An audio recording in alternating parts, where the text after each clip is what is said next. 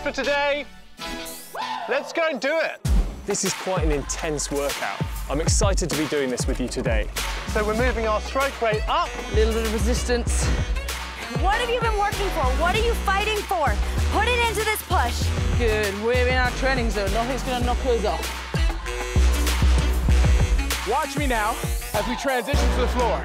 Bring it down. Keep going. Bringing the knee across the body, forward with the left. Come on down. Drive up top. Here we go. Five, four, three, two, one. Let's move. Let it all out there.